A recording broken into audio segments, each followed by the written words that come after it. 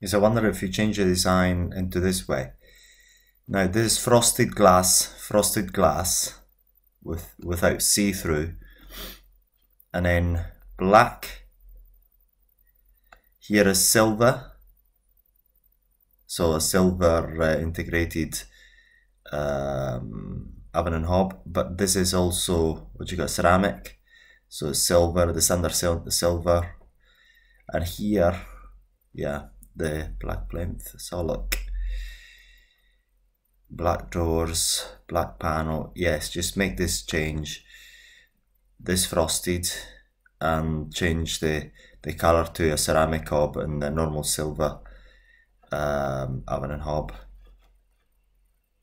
Um, what do you call it? Silver oven and uh, ceramic hob. Then going back to so look what we've got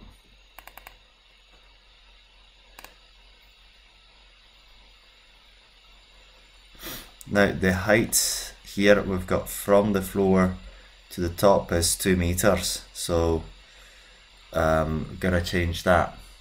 Gotta make sure that these units are gonna be um, a bit shorter than normal. Gonna fit because the, the ceiling is a bit shorter.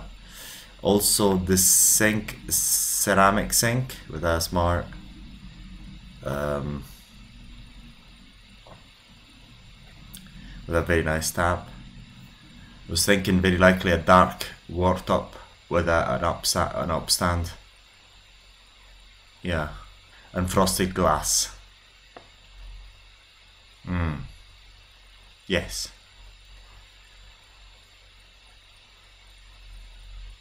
Yes, see, see, see what it looks like. Let's change the worktop to a darker worktop with a, an upstand.